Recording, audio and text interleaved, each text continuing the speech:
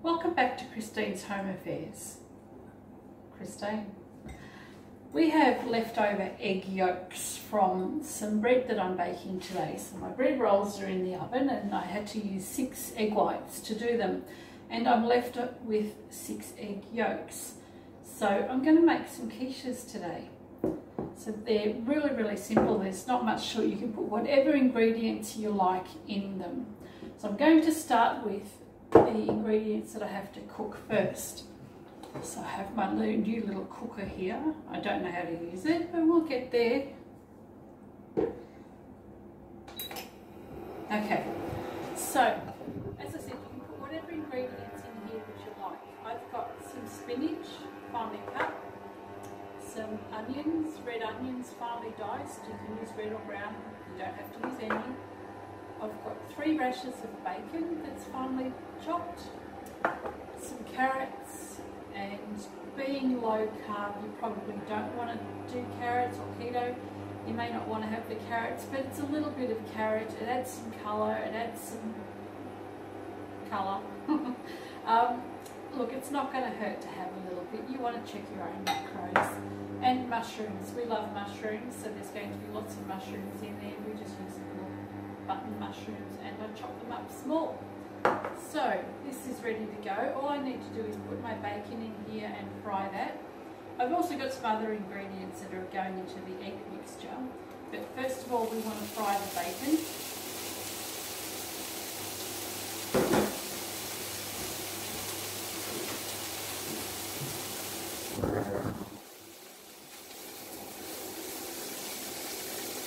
You'll notice I haven't put any oil or fat into the pan. I don't think it needs it. The bacon has enough. If you want to though, go for it. I'd probably use butter. I like butter.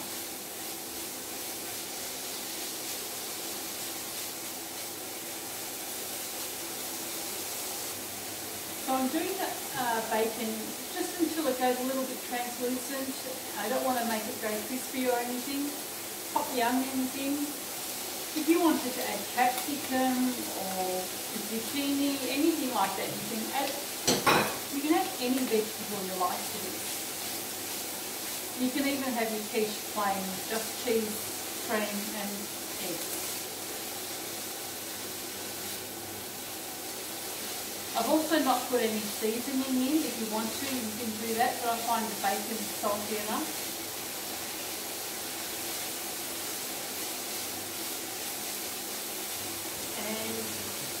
carrots in. We don't need to cook them for too long. Uh, they'll bake in the oven as they're going because they've only been cut up into really tiny pieces.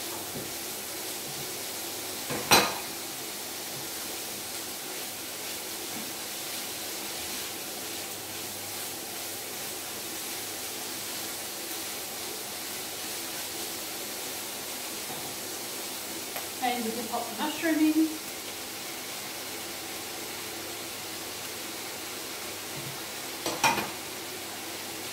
and we can put the spinach in. So it's pretty simple. There rules in this kitchen. You just put together whatever you like. Um, fry it off a little bit, let everything go a little bit soft, let the greens wilt.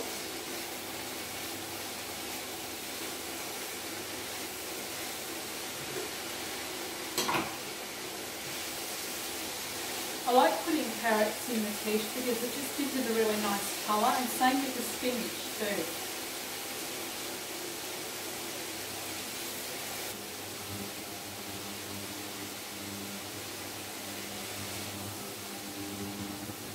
So that's all. I'm going to leave this now to cool in the pan. So because the pan's still quite hot, it's going to, oh, it's going to um, still cook the veggies a little bit longer anyway. I don't want anything crispy, I don't want anything browned.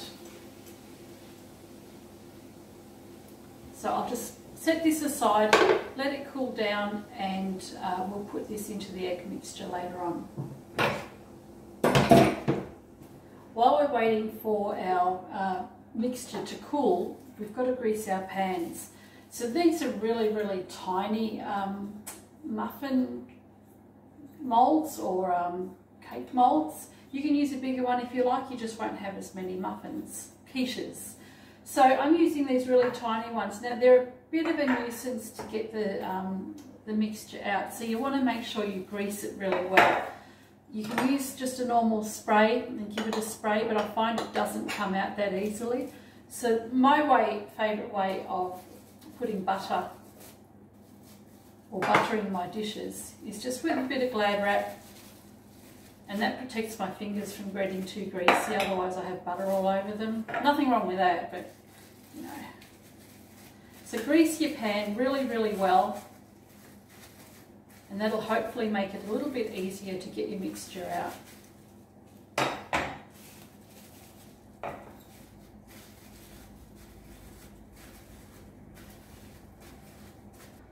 So there we go, we've got our trays greased. You won't need so many trays if you're making bigger ones. You can even use patty cake cups as well, but I find it difficult to get the paper away from the quiche later on. So many problems. Anyway, let's make our quiche mixture.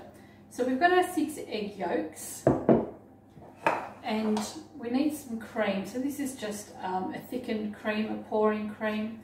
And we want probably about 200 mil, which is about that much.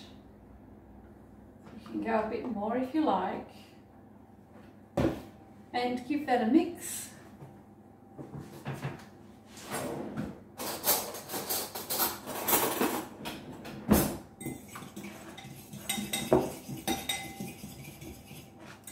So just mix the egg and the cream together and then we want to add our cheese and that's all we want to do to this particular mixture.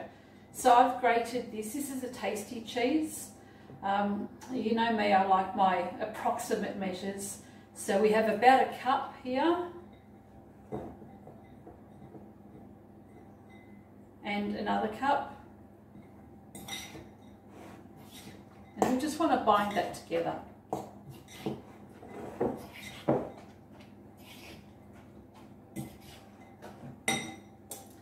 So there we go. We've got six egg yolks and a couple of cups of cheese. And it's a tasty cheese. Now once my um, bacon and mushroom mixture has been cooled, I can add this to it and then I can put it into the patty cakes, uh, into the baking trays. So I do just go and give this a bit of a stir to help it cool down a little bit doesn't have to be completely cold, but you don't want to be cooking your eggs as soon as you put your hot mixture in there. So I'll just give this a few more minutes to cool down and then we'll pop it in with the egg and cheese. So my meat mixture's cooled down enough that I can put all this into the cheese mixture. So all I'm going to do is just pour that straight in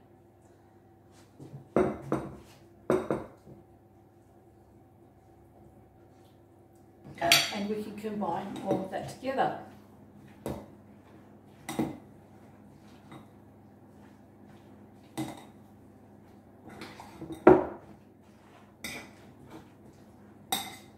So once you've mixed all of the egg and cheese and the meat and veggies together, it's ready to go into the pan. So I've got my baking trays nicely greased, they're all ready to go. My bread rolls are almost finished, so I can pop these into the oven shortly. And all I want to do is spoon them out, spoon the mixture out into the tray.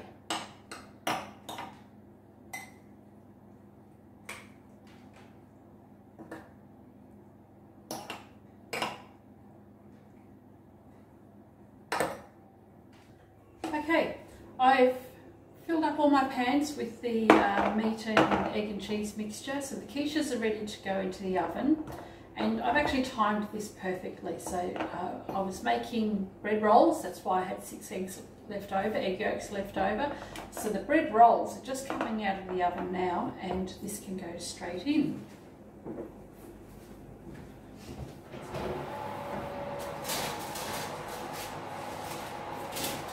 So here we have really nice big bread rolls made from the egg whites.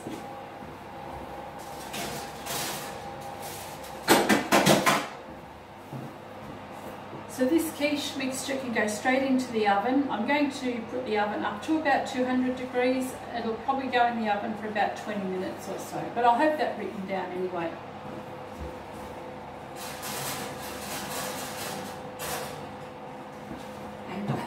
Bit of extra mix left over. I didn't want to use another pan, so I've just popped it into some patty cakes.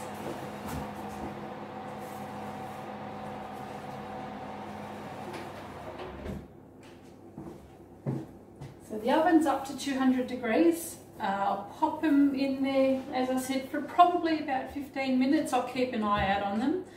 And in the meantime, I'm going to sit here and smell my bread rolls. So if you want the recipe for the bread rolls, I'll post a link up here for you. So it'll be up there. Um, and that's for the bread rolls. That uses the six egg whites and what's left over is the egg yolks that we didn't use in this bread mixture. So we're going to have a bit of a feast over the next few days. So I've got a dozen rolls. Um, they'll go into the freezer. They'll be great for hamburgers and things. And the quiches, they're fantastic for lunch. Uh, we have a couple of shops in town and usually I prepare the meals ourselves, myself. Uh, so I just freeze everything. So I'll show you the quiches when they're done. Here we go. All the quiches are done, so my mini quiches and the two extras have just come out of the oven. About 200, well, it was 200 degrees and it, they were in there for about 20 minutes. So I'm going to set these aside to cool down now, pull them out and we'll enjoy some for lunch. Catch you in the next video.